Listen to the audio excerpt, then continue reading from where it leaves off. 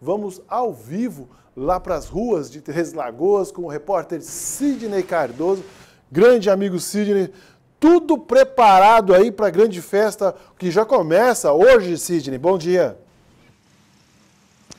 Isso aí, Israel. Bom dia. Bom dia, Mário. Bom dia a todos que estão acompanhando a nossa programação.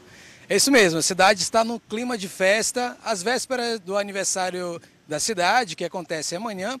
E estamos aqui pelo centro de, de Três Lagoas, acompanhando a movimentação, que já está aí no climinha aí das comemorações.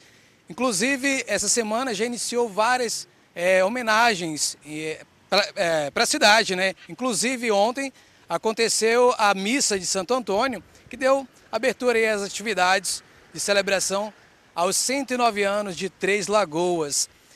E uma programação bastante esperada por muitos vai acontecer hoje aqui na Esplanada da UNIOB, a partir das 9 horas, que é, a quinta, que é o quinto festival de bandas e fanfarras de Três Lagoas. Estou aqui na UNIOB, inclusive, onde está sendo montada toda a programação, a estrutura para esse evento. Inclusive, vou pedir aqui para o nosso cinegrafista Ricardo Vinícius, que vai mostrar a estrutura que está sendo montada aqui na NOB já tem aqui toda a parte de arquibancadas montadas, palco, toda a preparação aí para o desfile é, das bandas, que este ano vai contar com aproximadamente aí quase 800 integrantes de 13 bandas de 10 cidades de Mato Grosso do Sul.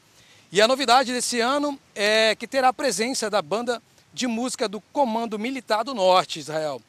E esse evento, ele marca é, no município, dando abertura às atividades aí da emancipação política administrativa da cidade, que completa 109 anos, amanhã, sábado.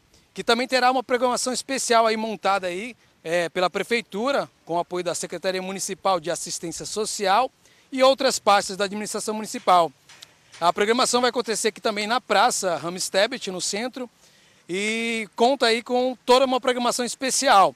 Amanhã, sábado pela manhã, a partir das sete e meia, vai ter o rasteamento do pavilhão nacional e a praça, é, aqui na Praça Cívica.